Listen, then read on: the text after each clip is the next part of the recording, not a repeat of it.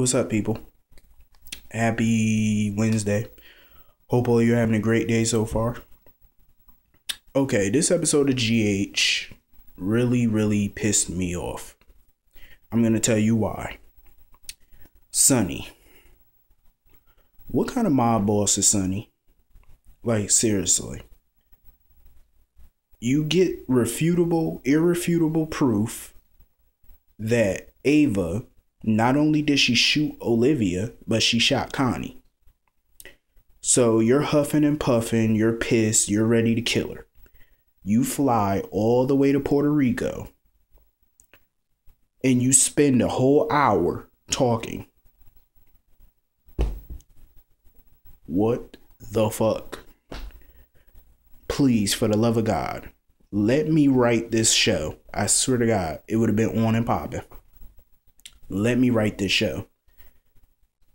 She would have been dead.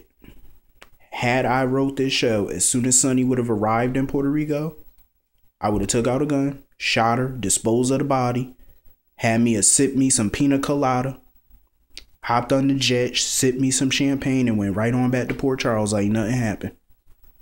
In all seriousness, that's exactly what I would have did. Because here's the thing Sonny is in Puerto Rico. He's on his island with a bunch of people who work for him. You're on your territory. Why would you spend a whole hour talking when you could have easily just killed her, disposed of the body, and sipped some champagne like nothing happened? Because the Puerto Rican authorities are not going to do anything. And Anna Devane can't do nothing because she's a PCPD cop, so she can't investigate. There's no evidence, no witnesses, no nothing. You would have walked away from this scot free, clean. But instead, you spend a whole hour talking. And Ava Jerome just sat there for a whole hour lying. I swear, Ava Jerome is a low down monkey with a wig on. I'm just saying. That bitch is conniving. And she's very convincing. Even though we all know she's a liar. Um Sonny, he just disappointed me. Like seriously, you just pissed me off. Uh, he's like one of the worst mob bosses I've ever seen in my life. Like just one of the worst. I remember back in the day, growing up, Sonny was so badass as a mob boss, and now he's just a former. He's a shell of his former self, basically they watered him down. Nowadays, when he pulled his gun out, he don't ever use it, except on innocent people. Um, speaking of dumb people, Anna Devane, what is wrong with this bitch? Why would you tell Dante Jordan is a DEA agent?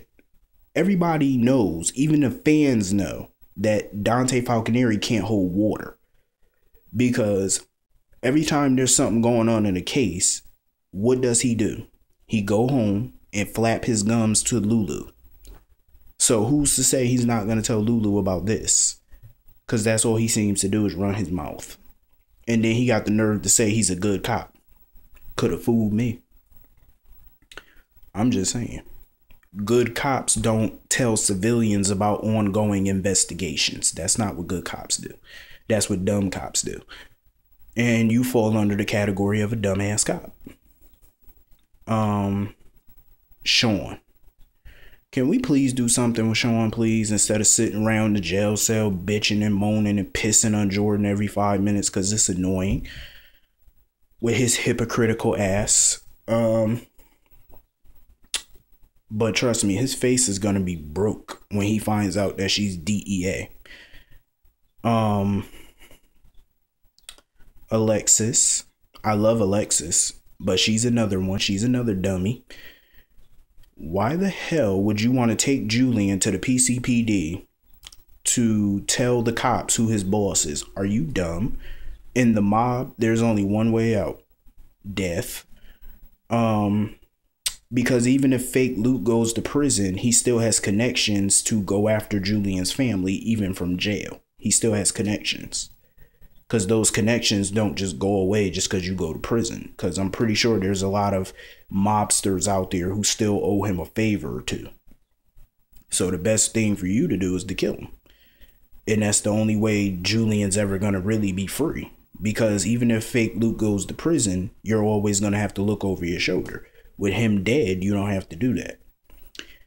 And I feel like Julian's a dumbass too, because why would he think Anna Devane wouldn't protect Alexis and Sam and Danny or Lucas?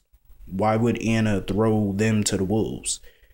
Yes, it's true. Anna Devane hates Julian, but she doesn't hate the rest of his family, just him. Um, which is a conflict of interest on her part. I get that she's the commissioner, but she shouldn't even be on this case because of her personal issues that she clearly can't put aside, and that's obvious. I still find it funny that Dante and Anna keep saying that they have so much evidence against Julian, but yet I'm not seeing no evidence. Now, what I want all of you to comment and let me know what evidence do they have that I'm not seeing. If you see it, let me know. Because from what I've been seeing, Julian was not at the drug bust, so they don't have him actually physically near the drugs. Two, they have no proof that he ordered that shipment of drugs. Three, none of his associates or soldiers have snitched on him. So, what evidence do they have? If you have none of the three of those, you don't have any case against him. So, what do you have exactly? Nothing. I just think the writers are a bunch of idiots. And clearly they don't know shit about the mob, and clearly they don't know shit about the law. And that's obvious. Because if they knew anything about the law, then they would know that they don't have a damn thing to charge Julian with. Not a damn thing. Um, and he could file a lawsuit against them for false arrest, which would pretty much bankrupt that town because I'm pretty sure it'd be a multi million dollar lawsuit. Um, Elizabeth and Ric. Why are they wasting Ric on this trash? I mean, come on, a candlelight dinner, a violinist, and at the end of the night, he said, "Spend the night with me." And Elizabeth trying to play hard to get like she don't want to, bitch. Please, if he would, all he had to do to get the peonies, all he had to do was take your ass to Mickey D's and get you a a quarter pounder with cheese, and trust me, your panties would have been off anyway. She's a hoe like that. Um, or take the bitch to Popeyes or KFC. Trust me, she would have been straight. Buy a bitch a pizza or something. Trust me, he would have got it anyway. I wouldn't even spent all that money on her because she ain't worth it. Um, hell, she ain't even worth KFC or McDonald's. I would have got that bitch a jumbo honey bun and a diet coke and boom the panties would have been off because she's a hoe. Anyway i'm just saying because some of y'all know it's true. Um what was i about to say? I got sidetracked by the thought excuse me. Oh for those of you who don't know what a thought is it's called t is t-h-o-t that hoe over there that hoe over there. That's what elizabeth. Um Anyway, somebody said this in the comments yesterday. They was like the uh, the because they were trying to figure out where he was gonna take Elizabeth on a date, and somebody mentioned this in the comments. They was like the Metro Court because the you know they only got two restaurants in Port Charles, and I bust out laughing at that comment yesterday because I was like that shit is true. I swear, if they would get rid of half this cast, they would have more money for more sets because God knows Port Charles needed another restaurant. I am so sick and tired of people just going to the Metro Court. I am so sick and tired of it. It's boring, like, and it's unromantic, it's unoriginal because you need to go somewhere else. Like, seriously, it's just dry. Um, and Carly sitting there talking mad shit to Ric, talking about, oh, he put me in a panic room that was 11 years ago. Are you still on that? Like, you're still mad about that? That was 11 years ago. Get over it, Carly.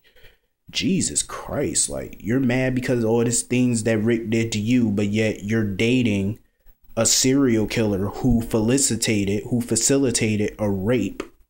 But, you know, he facilitated the rape of your eldest son, but yet you're dating him. Don't throw stones, Carly, at glass houses. Don't do it. Um, Luke, this old fart sitting there now, he openly flirting with Olivia, and Olivia looked like she too dizzy to see it. Luke is a hoe. He's a male hoe. Um, Tracy. Her whole scene with Lulu just pissed me off. Like, Tracy, why are you talking to this dingbat Lulu? Lulu talking about there's nothing wrong with Luke. You know, my dad is just being my dad. I'm like, bitch, shut up, please. Just hush. And you got the nerve to be that naive and that stupid to think that Luke was meeting up late at night in a park with a travel agent. Lulu, shoot your damn self. I'm just saying, like, really? Okay, I agree. Yeah, Luke is unpredictable, but still, Tracy, you just dumb because you can't put two and two together. Two plus two equal four. Put it together, and there you go. Why would your son, your eldest son, it just don't make no sense to me. Why would he lie about Luke pointing a gun at him and threatening to kill him and make it look like suicide? Okay, yeah, it's over the top, but who would lie about that? just to get Luke out of your life. Like he wouldn't lie about something so serious. And you walked in and Luke was clearly pointing the gun at him. Hello. Like if somebody point a gun at my son and my son tells me that, you think I'm gonna think he's lying? No. Your kids, you should believe your kids, especially a grown ass kid. You know, I mean, what is he gonna lie for? Please. Tracy just naive. I hate seeing Tracy like this. I miss badass Tracy. Um, anyway, I think that's everything for today. Um, hope all you have a great day. See you all tomorrow. Have a great day.